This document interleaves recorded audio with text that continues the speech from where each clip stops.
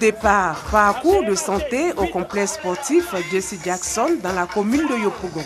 Cette activité sportive organisée par le ministère de la Promotion de la jeunesse, des sports et loisirs vise à promouvoir le sport pour une meilleure santé des populations. Le représentant du préfet d'Abidjan, Diakité Sidiki, invite la population citadine à pratiquer le sport comme le font les populations rurales soumises quotidiennement aux travaux champêtres. Le sport est bénéfique pour la santé, il permet d'éviter de nombreuses maladies, notamment les accidents cardiovasculaires, l'obésité et l'hypertension artérielle.